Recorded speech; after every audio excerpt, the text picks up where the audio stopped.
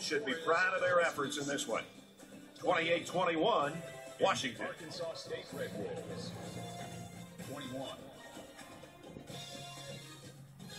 As we finish up the broadcast, what do you have to say about how this game turned out, Kirk? I'm sad to see this one in because it was a great game to watch.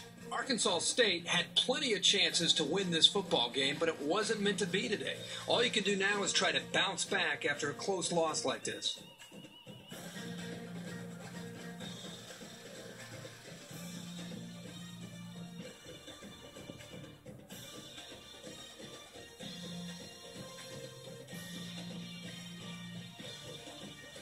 Here's a look at today's player of the game. For Washington, they'll notch their 11th win in what has been an excellent season. And for the Red Wolves, the loss today puts them at 11 and 2 for the season.